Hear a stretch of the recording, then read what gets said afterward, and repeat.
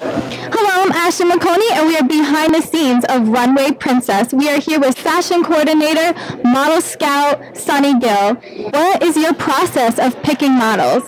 Uh, as far as like we have some requirements, they apply from from website with pictures, height, and then we call them. Which uh, like Vanessa, they go on website and she apply for that and she come here. Sunny, do you have a favorite? Uh, all of All of them? yes.